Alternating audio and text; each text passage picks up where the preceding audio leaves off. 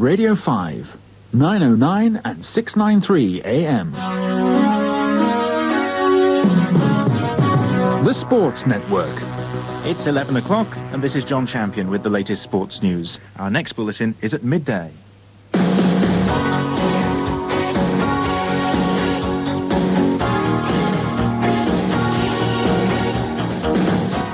Hi, this is Johnnie Walker. Welcome along to the very first edition of This Family Business. For the next hour and a half, we look at bank holidays. Are they worth all the hassle? British beaches, just how bad are they and what can be done to improve them? How much pocket money should children have? And we also take a look at how the family itself is changing.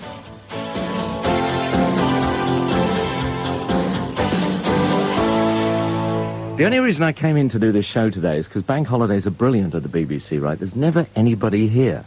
But it's a total madhouse. The place is crawling with BBC executives, there's cameramen here, journalists. Must be something special going on. I'm not sure what it is. Anyway, bank holidays. How's yours going? Is it worth the hassle, the traffic jams and all the rest of it? Or should there be more bank holidays? And how do most people actually spend the day? Our reporter Oliver Jones investigates and starts off with some notorious bank holidays from the past.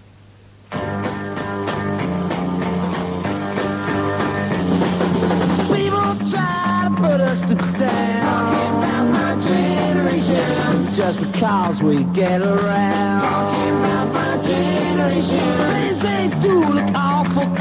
Talking about my generation. I hope I die before I get old. What fun do the mods get out of smashing things Oh, up? we get a kick out of it, you know. It's something to do. There's nothing much else to do on a Sunday. Bank holiday money, what else can we do? So we smash it up. What they should do is put a section of the beach, put the Muslim rocks in them, let them have, let them fight it out amongst them, then everything will be okay. Why do the mods find such great delight in smashing things up? Oh, it's great fun, isn't it? What's funny about it? Oh, I think it's hilarious. Given a free hand, how would the team deal with the mods and rockers who smashed up Clacton last weekend? Russell Braddon, come on. First thing I think to do is to smash up all their motorbikes so that they're, they're irretrievably done in, then find them so much that those that can be mended uh, can't be paid for so that the, the finance companies reclaim the bikes. Finally, send someone from Clacton round to the homes of the parents of all the kids and smash their windows in too so that they know what it's like. Apart from that, I have no Long gone are the days when bank holidays were associated with gangs of teenagers smashing up seaside towns and incensed members of the panel advocating tit-for-tat violence. Nowadays it seems to be a chance either to be thoroughly lazy or a day to get those things done that you've put off for so long. Oh, I'll get, try and get out on my bike into the countryside, get away from the smoke and the rushing about. It's a matter of catching up with domestic chores, like going down to laundry and getting something to eat and, and stuff. Uh, I think everybody should keep off the roads if they can. It's just too crowded. Uh, I'd prefer to stay at home, catch up with the garden, or whatever. The weekend I get up early to enjoy the weekend. The bank holiday I can stay in bed, then get up and enjoy the day, sort of thing. Do you know what I mean? I love it. I think that bank holidays are like Christmas, Easter. The lot. I love holidays. Sit and watch the telly, I suppose.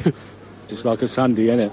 Uh, hopefully go out for a day trip or go out with friends or just laze around really, you know, just a break from the norm. It's like, oh, freedom, you know, go and do something.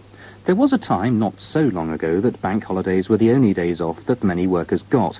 Doris Bailey always went down to Southend. Just our one day a year, and we loved it. We used to pray for a fine day, and if we were lucky, we got it. And it was lovely. We could sit down on the little bit of sand, and if we were lucky and the tide was in, we could paddle. And then when the pubs opened, we went along the front to a pub called the Ivy House, and they had a balcony, and you could sit up on this balcony at tables and lean over and watch the firm's outings, and all the women and the men dancing and jigging, doing knees up Mother Brown, and it was really all packed into that one day. Didn't we have a lovely time the day we went to Bangor? A beautiful day, way,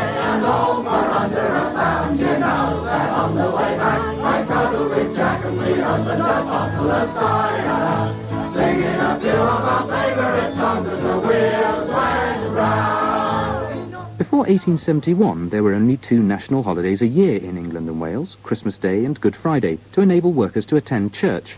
Then a Member of Parliament, Sir John Lubbock, introduced the Bank Holidays Act, Martin Carmel is the Senior Deputy Secretary for the British Bankers Association and Britain's foremost authority on the subject of bank holidays.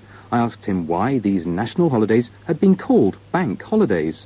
Sir John Lubbock called them bank holidays in the bill because he felt that if he was to introduce into Parliament a bill that actually gave everybody four days holiday a year, it would never get through Parliament at that time.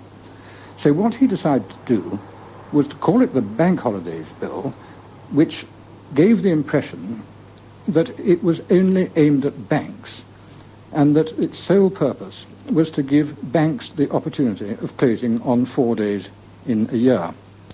However, everybody realized that if the banks were closed and they were being given a holiday, they should have a holiday as well, and everybody across the board decided they should have a holiday on those bank holidays too. Indeed, the story goes that the workers of Britain named the August bank holiday St. Lubbock's Day in gratitude for this philanthropic act.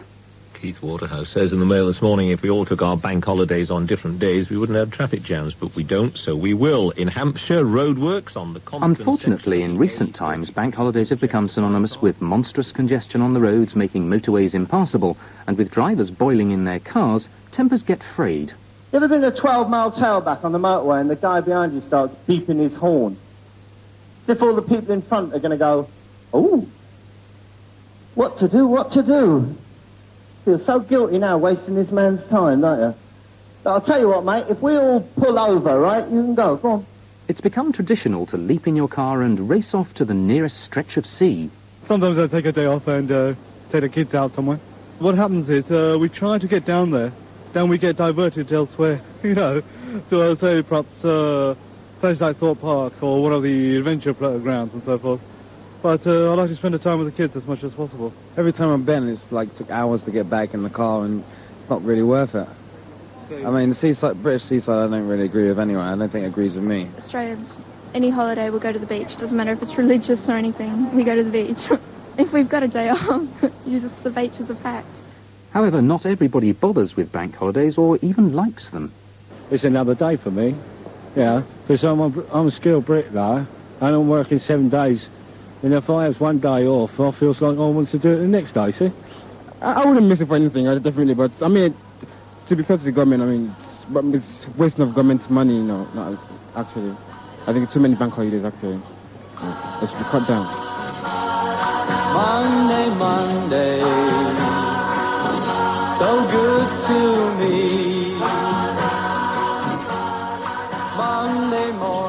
Oliver Jones reporting now on bank holidays, and he mentioned beaches. Uh, if you've been to the beach this weekend, I wonder how it was. How clean was it, and how confident were you swimming in the water? We'll investigate the state of British beaches a bit later on in the program. This family business on Radio 5 at 1114.